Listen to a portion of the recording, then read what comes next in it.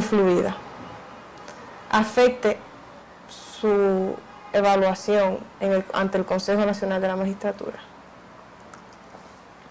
Bueno, vamos a suponerle a ese señor el suficiente eh, autorrespeto para no hacer de eso una especie de, de ajuste de cuenta, de venganza, de lo que sea. Yo hace tiempo que aprendí que los demás tratan a uno, no como uno es, sino como ellos son. Muy bien. Doña Miriam, muchas gracias y lamentamos mucho no, que se haya sentido mal aquí. No, yo no me siento... Pero vamos a tratar de que esto se aclarezca en, el, seno del Consejo de la Magistratura. Finjus prometió, eh, eh, propuso unas entrevistas particulares. Yo pensé que si el señor eh, quería alegar lo que quisiera, quizá podía hacer uso de ese recurso. Pero yo, fue mejor que lo hiciera así. Y porque no evidencia un interés de esclarecer, sino un interés de dañar. Febles, la cosa como es. Señores, muy buenos días, muy buenos días. Gracias por estar partir de este momento en su programa La Cosa Como Es. Una servidora Edith Febles agradecida de ustedes. Mañana miércoles la magistrada Miriam Germán Brito estará en este programa. Ella concedió hace par de días una entrevista a Carolina Santana para la gran pregunta. Teníamos ya todo dispuesto para eh, publicar esa entrevista en el día de mañana, pero dado los acontecimientos hemos pedido a la magistrada y ha aceptado hablar después. O sea que la magistrada va a responder la gran pregunta que comienza a formularse ahora, después de los hechos acontecidos ayer en el Consejo Nacional de la Magistratura. En este programa, además, en el día de hoy, le daré a conocer el texto de una carta de la magistrada Katia Miguelina. Katia Miguelina Jiménez, del Tribunal Constitucional, figura como una de las aspirantes a integrar la Suprema Corte de Justicia. Acaba de renunciar. Lo ha hecho, dice, renuncia, declina a sus aspiraciones el trato vejatorio y humillante del que fue objeto en el día de ayer la magistrada Miriam Germán Brito.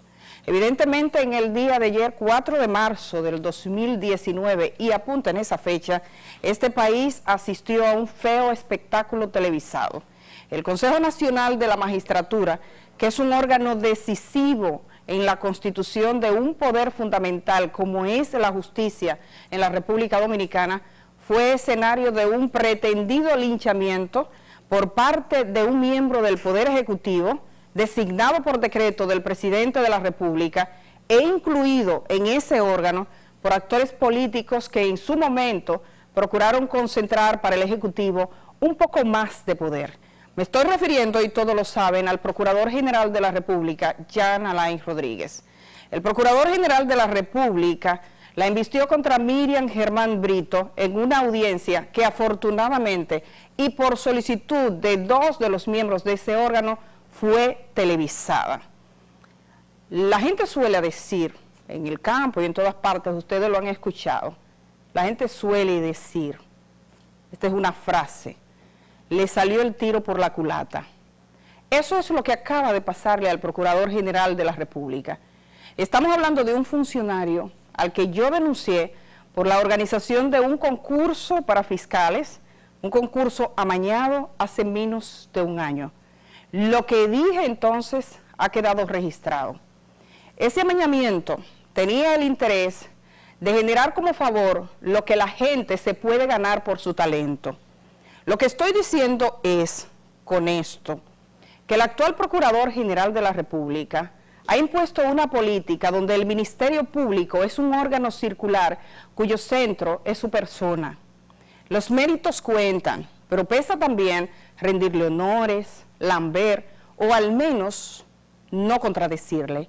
Nadie que le lleve la contraria tiene futuro. El Procurador General de la República no es con Miriam Germán Brito que tiene problema. El problema del Procurador General de la República es con todo aquel que lo cuestione, que piense diferente y que tenga juicio propio. Esta es la Procuraduría que ha despojado a todos los fiscales del país de la posibilidad de hablar, que ha concentrado la palabra y que ha puesto al Procurador General de la República como centro de las decisiones que toma el Ministerio Público, desde las más altas como Debret hasta las más sencillas, las decisiones de menor importancia como puede ser el arresto de dos cuatreros en un campo, la incautación de máquinas tragamonedas en un barrio o un operativo contra la piratería. Todo parte de ese centro. Todo se hace por disposición y mandato del señor Procurador General de la República. Las leyes que ofrecen a los seres humanos civilizados la guía inequívoca para actuar queda supeditada esa actitud cortesana y centralizada de quien se estima más habilidoso que todo este pueblo junto. Lo que ha pasado con Miriam Germán es la confirmación de algo que dije cuando salía de CDN. El procurador ha instalado el acecho como norte y la vigilancia como base. Los servicios de seguridad quedan disminuidos al rol de acechanza, acechando al que le lleve la contraria al jefe. Mientras en este país el narco y los puntos de drogas van en aumento, la corrupción se profundiza y muchos crímenes y delitos quedan impunes. Sobre ese ambiente de acechanza del cual personalmente fui alertada, yo quiero recordar lo que dije entonces. He conversado con periodistas que cubren la fuente judicial, yo la cubrí por mucho tiempo, y es una fuente donde diría que hay una especie de hostigamiento, de silencio, yo diría que de temor incluso. Eso es parte de una política restrictiva de acceso a la información que se expresa además en que un fiscal desde Dajabón hasta Higüey tenga que pedir permiso para hablar de cualquier cosa por minúscula que esto sea, y aquí lo hemos conversado y lo he conversado con titulares y personal de la Procuraduría General de la República desde hace tiempo. Y que aquellos que hablen, aunque sea para decir que en la vieja Procuraduría entró agua el día que se inundó el hospital de Arias Flora, eso le trae consecuencias. Y eso ellos lo saben. El rol del Ministerio Público es de vital importancia en democracia. El Ministerio Público tiene en sus manos aspectos vitales en una sociedad, vitales en el sistema de justicia, vitales porque tienen que ver con el honor de las personas, es decir, de ustedes, tienen que ver con su libertad y tienen que ver con sus bienes. En los regímenes autoritarios lo primero que se hace es cercenar las palabras, infundir ese temor. Cuidado si habla, cuidado si se dice, las paredes oye, cuida lo que tú estás diciendo, cuidado con tus celulares, ten cuidado. Ese es el aire que yo he respirado por estos días. Es un aire indescriptible que se respira entre estos servidores públicos, fiscales en la mañana, en la tarde, a mediodía. Cuidado si tú, cuidado, cuidado con lo que dice. Las paredes aquí oyen más que las paredes del DNI, que se sabe que ese es su oficio. No es posible. Donde ya no es importante lo que pasa, sino cómo se dice. Hay gente que piensa, y el procurador y su gente piensan, parece ser, pertenecen a ese grupo, que la vida es una producción, una palabra que he escuchado últimamente, todo es una producción, como si fuera un teatro, una producción con estrategias de comunicación, donde responder con datos a las preguntas poco importa. Ese video de archivo, eso que dije, no era jugando, no era un invento. Lo dije en virtud de todos los diálogos con gente diversa, con gente que lleva vida en el Ministerio Público y lo más importante, con gente que han visto a muchos jefes entrar corriendo y salir caminando, porque eso pasa siempre. Todo poder es pasajero. Esas piedras que constituyen el edificio de la Procuraduría General de la República están destinadas a permanecer mientras este procurador se encuentre a sí mismo desprovisto del poder que hoy le desborda. Lo que se le ha hecho a Miriam Germán es lo que se está haciendo desde hace rato con la gente decente. Es decirle, oiga, súmase a mi carro, súbase a mi carro, o al menos no me cuestione para que usted pueda sobrevivir. Porque a fin de cuentas, todos los seres humanos somos imperfectos y siempre alguien podrá tener una pizca de verdad y de mentira y armarle un trombo al prójimo. Allí donde ese espíritu se impone, allí donde ese espíritu se instala, un libro se convierte en un paquete sospechoso. Yo quiero recordar cómo describí ese ambiente. El Ministerio Público no es un asunto privado, no es de ellos. Elegir a quienes van a estar llevando la persecución en este país es un asunto que concierne a todos. Y cuando hay preguntas, se hacen, se formulan. ¿Qué es eso de que me estén diciendo desde, desde el día que comencé el lunes? Ten cuidado, vigila con quién habla, mira con quién te reúne, cuidado, tu teléfono, eh, mira que, que se lee. ¿Qué es eso? ¿Qué ambiente es ese? Es el ambiente que yo he sentido. Y yo le digo a ustedes, y la gente lo sabe porque ha visto a uno, aquí mismo en el periódico El Caribe, cuando comenzaba como reportera hasta ahora. Nosotros hemos tenido muchos, muchos casos en nuestras manos, hemos trabajado casos de muchos funcionarios, hemos tenido casos que han llevado gente a la prisión, hemos tenido de todo, pero ninguno había tenido ese ambiente como el que he tenido en este momento. En toda sociedad la justicia procura reparar, procura el bien. La venganza se supone que no es la meta y no es lo que hace. Esta se, se supone que es una sociedad democrática y todos los servidores públicos, sin excepción, pueden ser sometidos a escrutinio. Nadie aquí está discutiendo eso. Pero eso se hace en buena justicia, sin violar los procedimientos, sin cizaña, sin acechanza, sin, sin perversión de los recursos. Ayer, la magistrada Miriam Germán Brito fue sorprendida, como dicen estarlo los demás miembros del Consejo Nacional de la Magistratura. El interés, dijo ella, es dañar. Así se llama el corte, señor director. Interés de dañar. Vamos a verlo. Vamos a ver ese corte. Interés de dañar. Con lo que dijo la magistrada. Está pautado. Yo lo voy a esperar. Interés de dañar. Pueden irse. Los demás tratan a uno, no como uno es, sino como ellos son. Muy bien.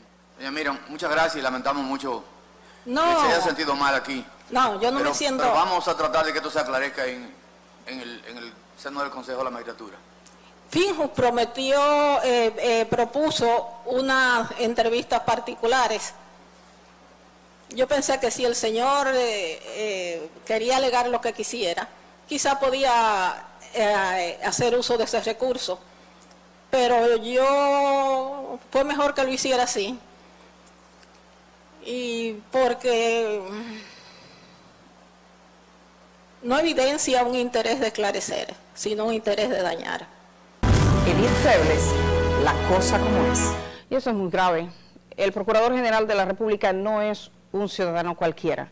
Es un funcionario que debe conocer todos los recursos disponibles para que a sabiendas de la comisión de un delito, una falta grave, una vulneración a la ética al proceder, en este caso de una jueza, tiene los recursos para eso. Es uno de los aspectos que ella dijo cuando habló, por ejemplo, del caso Díaz Rúa, que por cierto le falló en contra cuando la Suprema Corte de Justicia decidió archivarle la investigación que realizó la entonces fiscal del Distrito Nacional Jenny Berenice Reynoso. A propósito de que el procurador le cuestiona ahora por Odebrecht, la jueza recordó esos mecanismos que él dispone, que él tenía y que no usó. Se llama debió recusarme.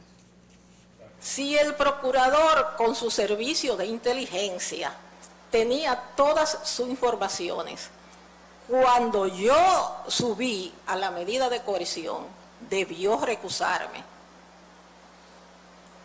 y sencillamente subí ahí porque decidí que era muy cómodo para alguien que no quisiera un juez ir por ahí poniendo un Twitter y diciendo lo que le diera su bendita gana. Una vez escuché a un viejo funcionario público, viejo de edad y viejo de servicio, que el poder nubla el juicio. Cuando el Procurador General de la República inviste a Miriam Germán, como lo hizo, delante de todo el mundo y se agarra de un anónimo, cosa que ya no se usa ni en los chismes callejeros, verdaderamente él piensa que todos los dominicanos y dominicanas nos tragamos eso, que una agente anónima sometió a Miriam Germán a espionaje por más de un año y que de paso ese gesto es honorable. Miren ustedes lo que pasó cuando ella le señala que se trata de sus agentes, de sus espías o de sus acechadores esas eran de su padre. Y de eso, lo único que yo tengo es una deuda de 3 millones de pesos con el BHD, que lo tomé el préstamo para pagar el IPI de la de la propiedad de la Charles de Gaulle y de las otras dos y me hizo 3 millones de pesos porque logré que me le quitaran la mora y los recargos. Sus agentes especiales no llegaron ahí.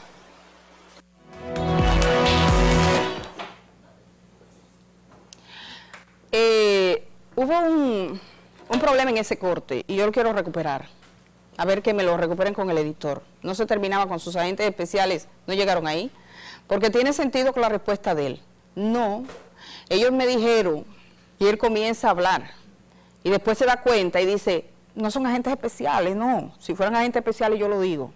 Entonces, revisen el corte para que lo incorporemos luego, porque tiene sentido ese corte cuando él le responde. Ella le dice, sus agentes especiales no llegaron ahí. Y él responde, no, ellos me dijeron. Y comienza a hablar, entonces como que dice, carajo. Entonces dice, no, no eran agentes especiales, si no yo lo dijera.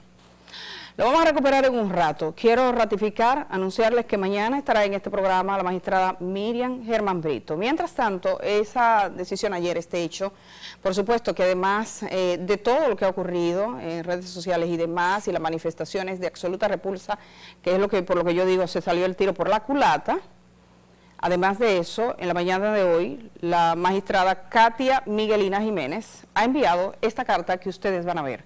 La ha enviado al Consejo Nacional de la Magistratura renunciando a sus aspiraciones.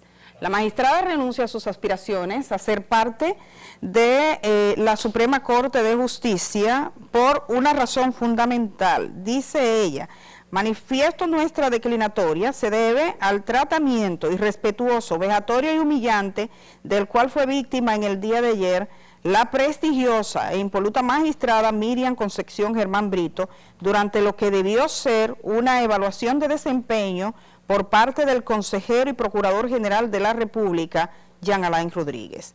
Frente a un escenario como ese, en el que se debió primar el debido proceso de cara al reglamento número 119 para la evaluación del desempeño de los jueces de la Corte de la Suprema Corte de Justicia, dictado por el propio Consejo Nacional de la Magistratura, nos de la magistratura nos resulta cuestionable que se permitiera que el consejero Rodríguez actuara a su vez como Procurador General de la República alegato que se utilizó para mantener el anonimato de quienes le habrían remitido objeciones bajo la modalidad de denuncia que cuestionaban la intimidad familiar, la moral y la ética personal y profesional de la jueza Germán Brito. El artículo 4 del referido reglamento traza el procedimiento a seguir para tratar aspectos que sean parte de la intimidad personal y familiar del juez lo cual fue invocado por el consejero Paliza y no obstante la violación al debido proceso fue permitida, situación que también fue censurada por la consejera Josefa Castillo. Ella sigue con el reglamento. Miren, esa es la carta, yo la voy a subir a mis redes sociales, por lo cual está renunciando la magistrada Katia Miguelina Jiménez a sus aspiraciones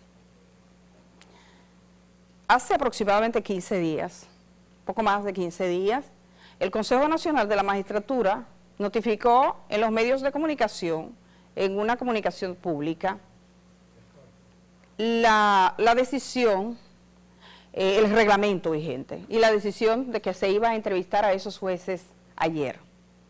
En ese momento, en ese reglamento, invita a todos los ciudadanos que tuvieran objeciones a llevar sus objeciones le daba un plazo de siete días a los ciudadanos que tuvieran objeciones y siete días al juez que fuese objeto de esa objeción para responder. Solo se presentó una objeción, la objeción al magistrado Herrera Carbucia. Él tuvo, dispuso y pudo tener durante siete días la única objeción que se presentó, que tengo entendido que es un asunto de alguien que alguna vez estuvo en su en su tribunal y él pudo y tuvo la oportunidad y la posibilidad de responder. Eso fue lo que se violó aquí ayer también, de paso. Porque como yo les digo, aquí el problema no es Miriam Germán Brito. Aquí el problema es un asunto de control del Poder Judicial, donde el Procurador General de la República pasa a ser una especie del sol, del centro, y todo el mundo tiene por lo menos que no llevarle la contraria. Si no rendirle pleitesía, al menos no llevarle la contraria. Alguien me comparaba lo que pasó en el día de ayer como un sartén tiznado, que no mata pero embarra, ensucia. Yo creo que dada la trayectoria de Miriam Germán Brito, lo que sí ha tiznado es ese consejo. Si ayer al comenzar esa jornada, ese Consejo Nacional de la Magistratura manifestó que no tenía mucha experiencia en lo que iba a ocurrir, ya la tiene y de mala manera. A partir de hoy todo este país está con los ojos puestos en lo que ellos decidan. Hay gente a la que usted no le puede ofender, porque como dice un refrán popular también aquí, ofende quien puede, no quien quiere. Vamos a ir a la pausa. Les recuerdo que mañana estará aquí Miriam Germán Brito. Cuando yo regrese, tengo una entrevista pautada desde hace ya varios días con el periodista Jairo Severino. También hoy tenemos una película, por cierto, tiene el nombre de Miriam. Y ahora les voy a dejar con el corte que ahorita se pasó inconcluso y que solo tenía sentido en la respuesta del procurador. Es como cuando tú le preguntas a alguien algo y como que se, como que se, se queda así. Dígame usted, y sus agentes no le dijeron, y dice él, sí, ellos me dijeron, y después sobre la marcha, corrige.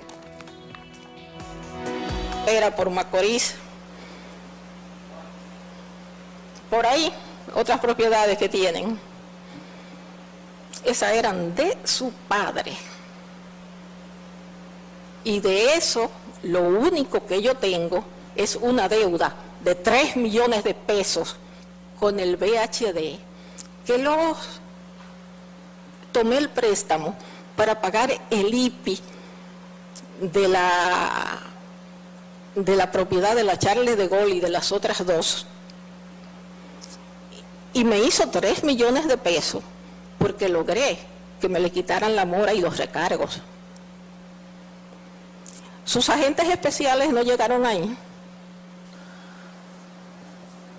No llegaron ahí, pero sí me entregaron un contrato, eh, todas las personas que conocemos, porque mucha gente le envía información a uno, no solamente esa denunciante, no son agentes, lo dijera si son agentes. Ahora les voy al tercer punto, pero sí nos dieron los contratos de compraventa donde no se hace ver ningún tipo de donación, ni tampoco se hace...